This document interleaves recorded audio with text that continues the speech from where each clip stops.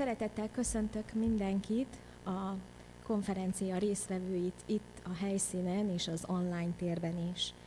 A Nemzeti Művelődési Intézet Borsodabausz Zempén megyei igazgatóságáról érkeztem.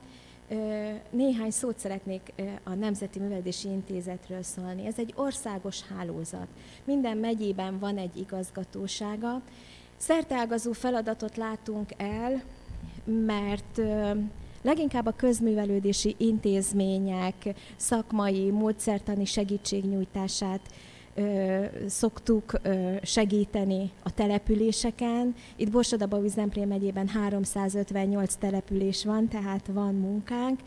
Emellett mintaprogramokat hozunk létre, és ezeket a mintaprogramokat először néhány megyével, utána pedig az országra kiterjesztve végezzük. Ilyen mintaprogramunk volt a kapunyitogató, az Újra öltünk, örökítünk, a Komatál program, a Pajta Színházi program, Bűvös Bábos program, és 2020 első hónapjaiban felmerült az a, az, az ötlet, hogy szakkört hozzunk létre online felületen.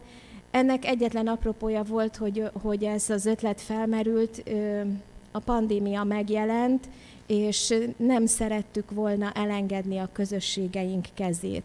Ezért is az a cím, a, a szakkör tudásunkkal kézen fogva. És most nézzünk meg egy kis videót. Elindult a szakkör, a Nemzeti Művelődési Intézet kulturális hálózata. Tájékozódjon gyorsan és egyszerűen a szakkörökről megyei és téma szerinti keresés segítségével, a szakkörök vezetőiről, oktatóiról, a művelődési házakról. Információk, elérhetőségek, korszerű környezetben minden egy helyen. A szakkör.hu Tudásunkkal kézenfogva szakkörvezetőink vannak, bemutatjuk azokat a művelődési házakat, amelyekben működnek ilyen szakkörök, de természetesen nem csak az intézményekben, hanem a kis települések közösségi szintereiben is. Mit is jelent az a szakkör? Ez egy mintaprojekt, ahogy mondtam, és a hagyományos szakköri foglalkozásokat szerettük volna valahogyan továbbadni, tehát egy hidat építettünk az online térbe és a, és a kontakt alkalmakkal. Visszanézhető videókat készítettünk, 2021 kezdetén a Népművészeti Egyesületek Szövetségével együtt dolgoztuk ki ezt az ASZAKKÖR programot, és az egyesületek, 16 egyesület vett ebben részt, 103 alkotó és közreműködő segített a kidolgozásban. A Nemzeti Művelődési Intézet munkatársai közül négy forgatócsoport állt fel, járta az országot, és 840 kisfilmet készítettek el. Ezek tulajdonképpen a szakköri tematikát mutatják be, hogyan kell hímezni, hogyan kell gyöngyöt fűzni, és a szakkörökön ezt közösen meg tudják nézni. 2021-ben akkor még csak hat ö, tematikát ö, dolgoztunk ki, de látható, hogy már két millióan megnézték ezeket a kisfilmeket, és ö, már ekkor elkészültek a gyertya, készítés, szövés, fonás kiseszközei, különböző ünnepkörökhöz tartozó foglalkozásokat is felvettek a kollégák, illetve nagyon sikeres volt a gasztro videók elkészítése, látható, több mint 50 receptet lehet ö, megtalálni itt ezen a felületen. Az Aszakör programhoz Magyarország kormánya nyújtott támogatást a közösségi élet újraindításáért felelős operatív törzs kezdeményezésére. Az operatív törzs kérte fel a Nemzeti Művelődési Intézetet, hogy dolgozza ki ezt a programot.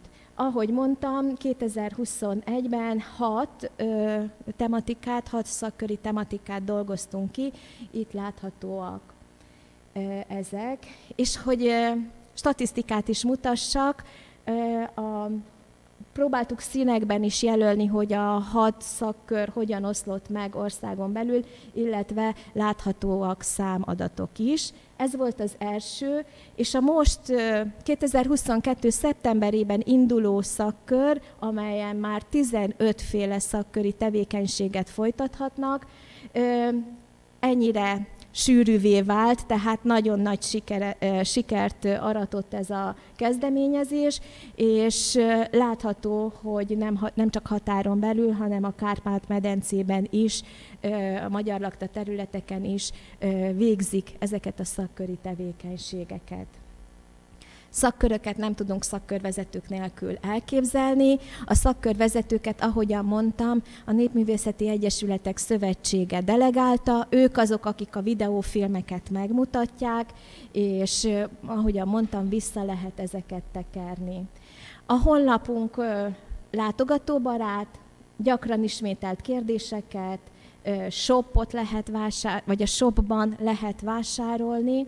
Ez azért fontos, mert a szakköröket mi úgy hirdetjük meg, hogy öt fős szakköröket indíthatnak. Ezeknek az öt fős szakköröknek mi az alapanyagát és az, az eszközeit ö, ingyenesen odaadjuk a szakköröknek, de ahogyan mondtam, nagy siker volt, és azt tapasztaltuk, hogy nem öt fővel szeretnének indítani szakköröket, hanem 6-7-10 fővel, akkor lehetőség van a shopon belül ö, egy főre jutó összes ö, alapanyagot megvásárolni, illetve külön az összes eszközöket.